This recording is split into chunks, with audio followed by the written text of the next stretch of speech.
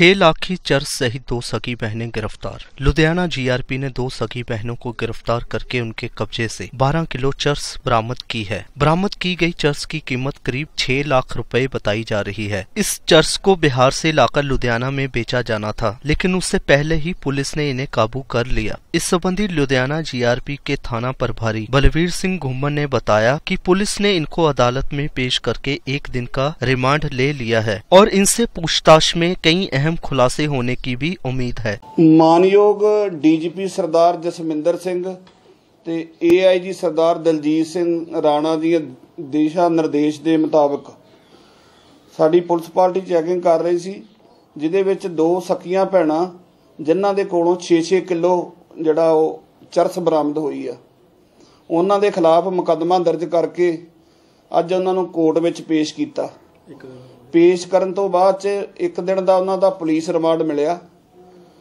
ਜੋ ਵੀ ਉਹਦੇ ਵਿੱਚ ਗਾਂ ਉਹਨਾਂ ਦਾ ਇੱਕ ਮੋਬਾਈਲ ਫੋਨ ਮਿਲਿਆ ਜੋ ਵੀ ਉਹਦਾ ਗਾਂ ਮੋਬਾਈਲ ਫੋਨ ਤੋਂ ਜੋ ਵੀ ਟਰੇਸ ਹੋਇਆ ਜਿਹਨੂੰ ਇਹਨਾਂ ਨੇ ਲੈ- ਕੇ ਆਏ ਨੇ ਜਿੱਥੋਂ ਜਿਹਨੂੰ ਇਹ ਦੇਣੀ ਸੀ।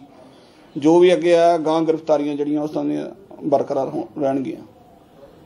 ਇਹ ਇੱਕ ਨੂੰ ਰੇਲਵੇ ਸਟੇਸ਼ਨ ਸਰਕੂਲੇਟ ਏਰੀਆ ਨੇੜੇ ਮੰਦਰ ਆ।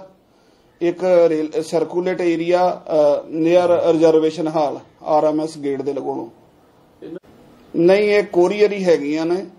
ਇਹਨਾਂ ਨੂੰ ਕਿਸੇ ਬੰਦੇ ਨੇ ਭੇਜਿਆ ਸੀ। ਤੁਸੀਂ ਇਹ ਲੈ ਕੇ ਇਹ 5000 ਦੇ ਲਾਲਚ ਵਿੱਚ ਦੋਨੋਂ ਭੈਣਾਂ ਹੀ ਆਈਆਂ ਨੇ।